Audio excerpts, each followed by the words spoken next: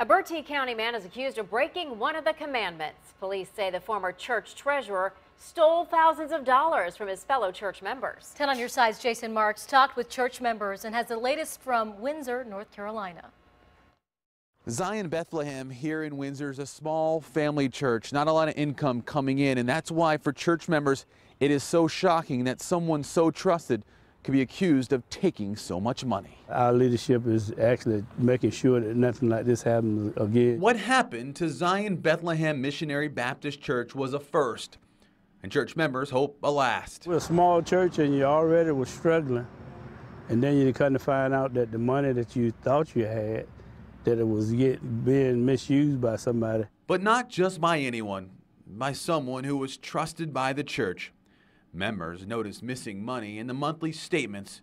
Church members confronted the former treasurer, 49 year old Clarence Cherry. So he admitted that, that he had been doing it. He gave a reason that he was trying to provide, provide for his family. Court records show Cherry used a church debit card to funnel out the funds.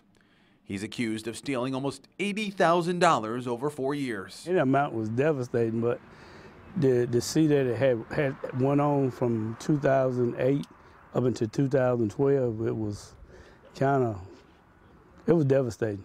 That's all. I mean, that's the that's the only word I can use to say it was devastating. Cherry's been charged with 51 counts of embezzlement, one for every month he allegedly used that debit card.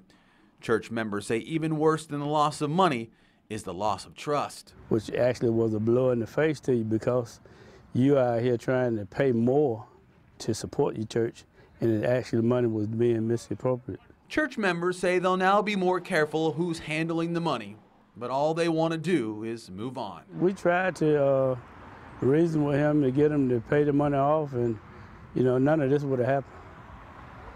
But he chose to, I guess, to let it go this route. Cherry will be back at the Bertie County Courthouse for a probable cause hearing later this month. For now, he remains out on bond.